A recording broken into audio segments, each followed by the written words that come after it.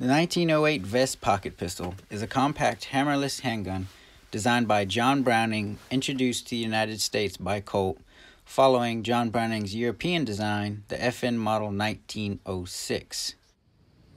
These pistols were produced from 1908 to 1948 with a total of over 420,000 produced during that time.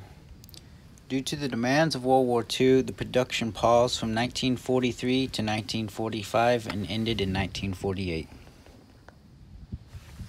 The pistol has a total length of 4.5 inches, features a grip safety, a slide lock safety, a 2 inch barrel, and a 6 round magazine.